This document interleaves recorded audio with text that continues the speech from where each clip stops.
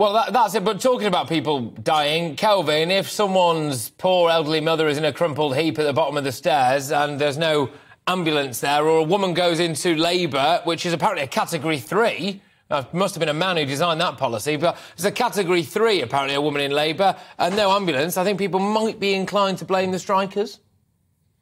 Well, I think the the issue is the, the most disgusting aspect I've seen of these negotiations between uh, between unionised people and uh, and NHS and the ambulance trusts, of which, by the way, the unions, unison ones, are all run by communists anyway.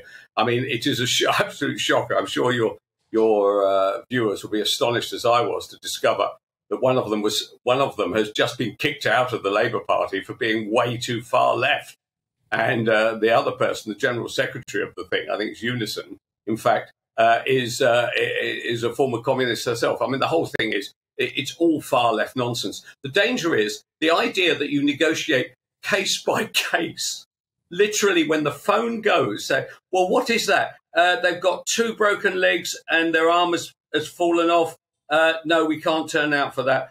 Oh, they've had a multiple serious heart attack. Yeah, we'll do that. It is an absolute disgrace that they will even think about doing. And the idea, as your other mm, commentator okay. points out, that in fact we all rely on it. The reason we rely on this clapped out, useless NHS is because we pay a huge amount of money and tax towards it. And I don't want to pay any more for it. And actually, I don't want them to earn any more money. And if they all work out, fantastic. The system will be 10 times better than the system that exists okay. today.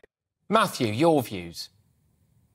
I think in the case of the nurses and quite possibly in the case of the ambulance workers, this is an existential cry for help from the NHS. I was engaging with a very senior or a senior doctor just a couple of days ago, getting her view. She's working on the on the front line, and her view is that doctors, in a way, have been complicit in the degradation of the NHS over the past few years because they have been prepared to work way beyond or significantly beyond what they should be having to do in order to keep the service running. And as a consequence of that, she feels the service is now at a tipping point where they are unable to deliver the sort of service that they need to do and that we all need them to do. So hmm. we have to listen to people who, unlike Kelvin, unlike me, unlike you, Patrick, have dedicated their lives to keeping people alive, if they are making this sort of cry for help, rather than blaming them, we should look at why they why are why are they screaming so loudly and demanding help. Our society doesn't work at the moment. At the last okay. count, there are 177 billionaires in the UK alone.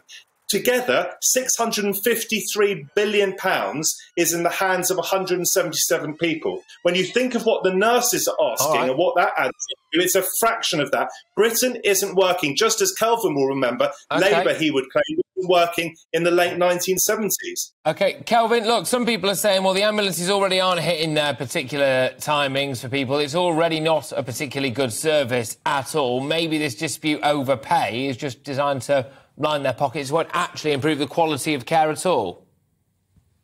Well, that goes back to the that goes back to the argument about whether the NHS is worth saving in the first place, and on the issue of uh, of the uh, of the NHS workers all flogging themselves to death for the future of mankind. I don't buy that at all. Yes, there are some hardworking people there. There's some idle people there. For instance, they take an extra three weeks sick off over a year, right? The average nurse makes 40 grand a year. That's, that's NHS digital. Look, I totally accept you've got, you've got doctors who are now claiming that they're all overworked. The GP, I know one GP does two days a week, does two 12 hour days, gets two thirds of the money, makes 66,000. When they ask, well, why don't you work a bit harder? Her response is, I want to be with my kids. I understand this, but it can't be solved by a state run health system, which clearly okay. is no longer working.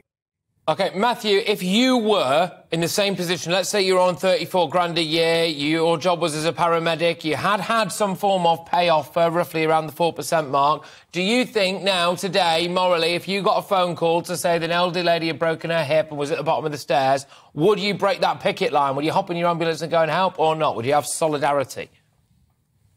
Listen, I will repeat the point that I haven't dedicated my life to public service. I've been a, a, journalist. I've tried to work for the BBC for nine years. I've tried to do my bit, but I haven't put myself on the line in the way in the way that these guys have, right? And, and so the answer to your question is: if I were in that position, if I had been as generous as these people have with their lives and earned as little as they've earned, then well, I wouldn't be in that position, but I wouldn't. I would actually go and pick up an elderly person. But I think it would be disingenuous of me to criticise these people because they've done what you and Kelvin and I have not done with their lives, okay. and that is elderly people alive every day of the week.